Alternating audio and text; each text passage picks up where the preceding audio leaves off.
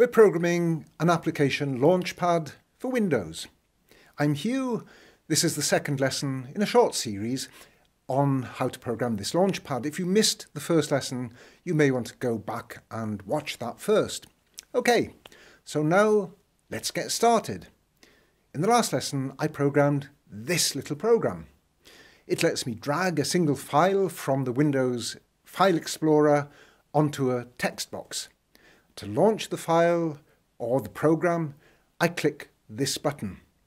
Now in this lesson, I'll explain how you can drag and drop multiple files.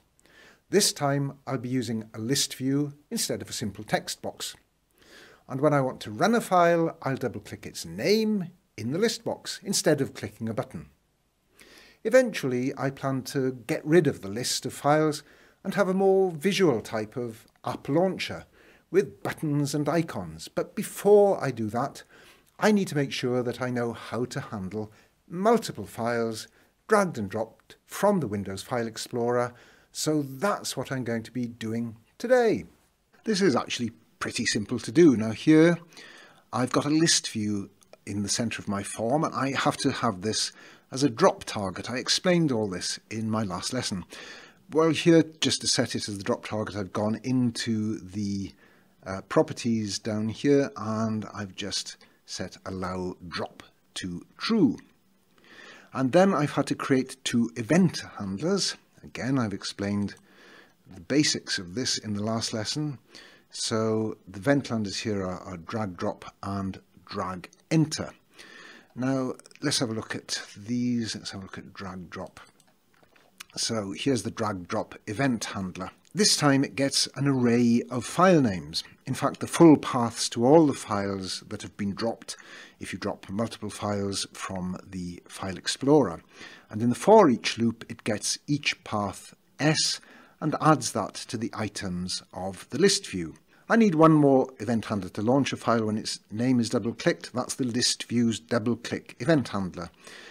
Now this gets the text of the selected item in the list view, listview1.focusedItem.text, and it then calls launch file uh, to launch, to run the, the program that, uh, that was selected. And the launch file method is the same. It's the same as from my last project. It, uh, it was previously associated with a button, and that just launches the file from the list view. And that's all there is to it. So let's try it out to make sure it all works. So I run it. There's the form, get some uh, files from the File Explorer. select three files, drop them onto the form.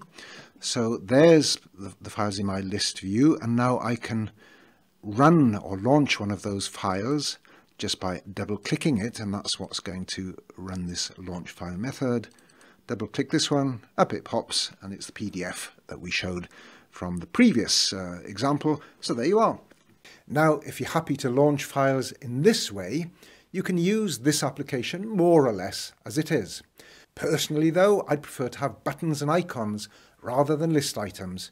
And I also want to have some way of saving the list of files so that they're reloaded when I next run my program.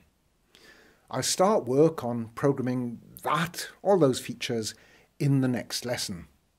If you liked this video, give it a thumbs up, and to be sure not to miss new lessons, remember to subscribe to my channel and click that bell, and I'll see you again for more soon.